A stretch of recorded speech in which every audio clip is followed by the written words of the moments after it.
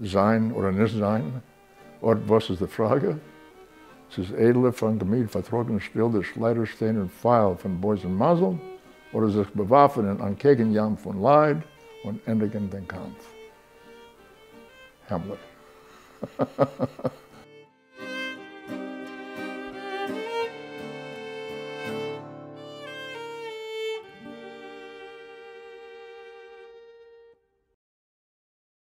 Von wann stammt der Mischproche?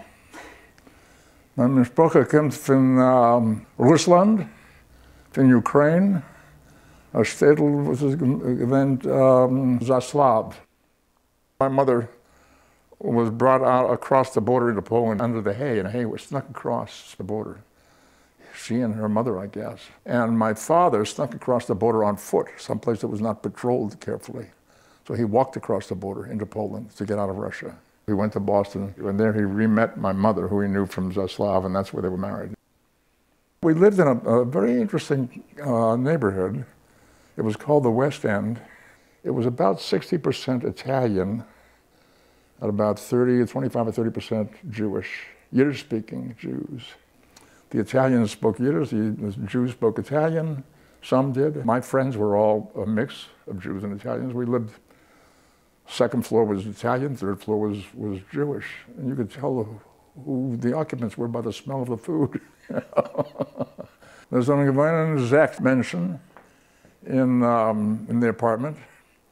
Mein uh, Baba Zeta, mein Tata Mama, ich mit mein Bruder. Mein Baba had uh, Nemo gelernt English. She could bake a challah that was beautiful. They made a brush from uh, turkey feathers, these big feathers that they dipped in the, um, in the egg batter and, and basted the, the challah with that. And she taught my mother how to do it. I remember that vividly. It came out golden brown. It was so beautiful. The challah was beautiful. My father's barber shop was within, I would say, 75 yards of where we lived. It was nicely outfitted. There were three chairs, although I don't ever remember the third chair being used. Maybe it was just in case business got so so big that they would need a third barber.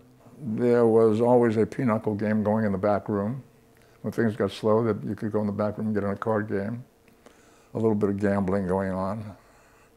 My memory was that my dad had a reputation for being a pretty good card player. Haircuts, I think, were 25 cents, and a shave was a dime. And then I think by the time I left Boston, he was all the way up to 75 cents for a haircut. And a, a shave was probably a quarter.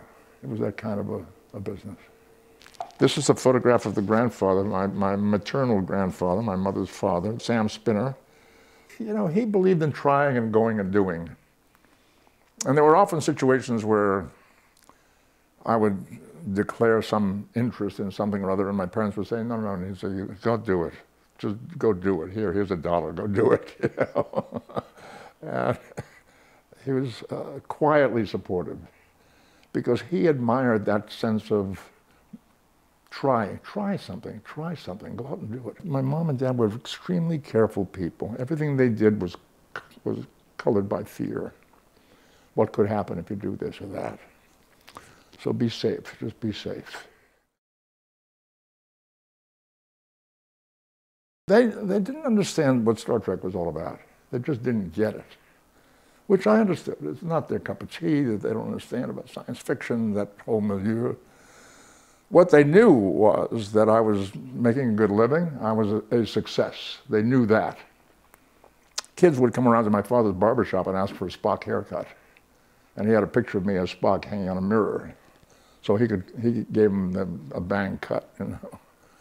Spock is an alien wherever he is because he's not Vulcan and he's not human, he's half and half. He's a half-breed, what we used to call a half-breed, a mixed breed. Vulcan father, human mother.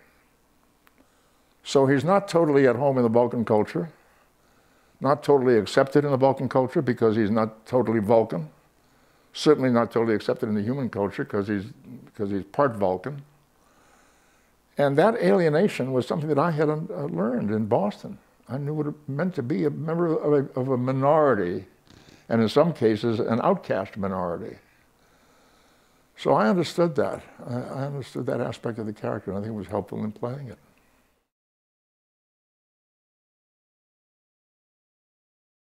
a song that burned itself into my brain, and I, I, just fell in love with this song because I felt so identified with it. A song called Auf dem Weg steht der Boy. It spoke of a boy who says to his mother, there's this tree on the road, and alle Vögel den Bäumen sind zerflogen, all the birds have flown away from the tree. Drei kann Mizrach, drei kann Marib. Und den Bäumen gelost allein, Hefke von Sturm. The tree is standing alone, and there's a storm coming. So geht to the Mama her, I say to my mother, Look, Mama, einstens zwei with her, and in a moment I want to become a bird, and I want to go fly to that tree and sit on its branches and sing to it to keep it company during the winter. And she says, Itzikroin, nebem Gottes will, nem choć mit a schalikel zosch me schwarkiel, die kaloschen nem der met geht a scharfer Winter, in die Kischmet hiderun, weis mir in Windmer.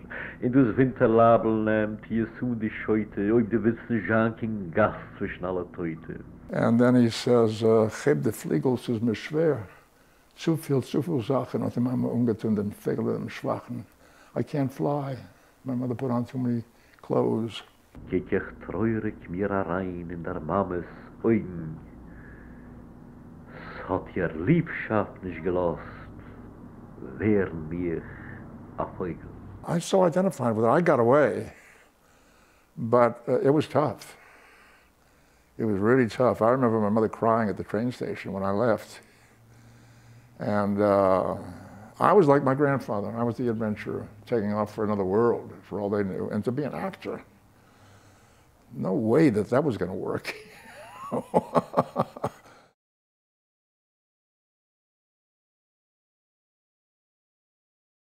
Isaiah approached me once at, a, at an event and introduced himself and said, we do a series of short story readings called Selected Shorts. Actors and actresses come and read short stories for us. Would you be interested? And I said, I, I would be interested in doing that.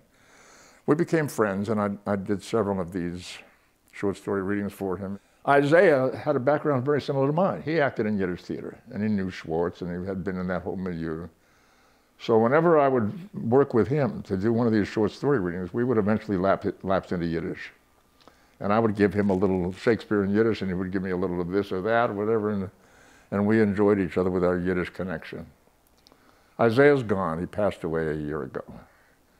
And uh, I spoke at his memorial and talked about this Yiddish connection that I had with him. I found a, uh, a woman here in Los Angeles who was a psychiatrist, but who was a master of the Yiddish language. And I went to her and spent an hour every week or two, paid for the psychiatric fee to have somebody to speak to in Yiddish.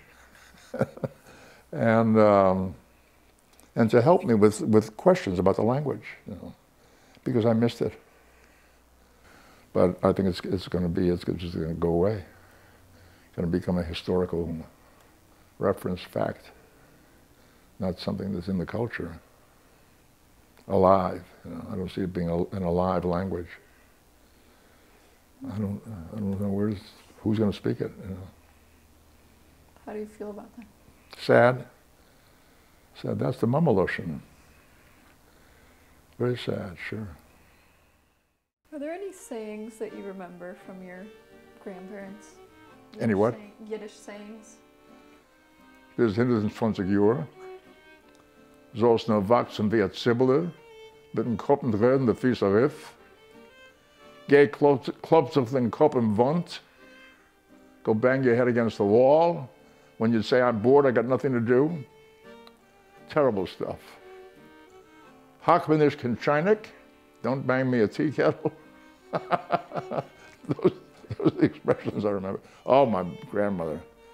Often from here, I, oh, Ribbana Shalom, oh. Tell me, oh God, where are things going? Master of the universe, tell me what's going on here.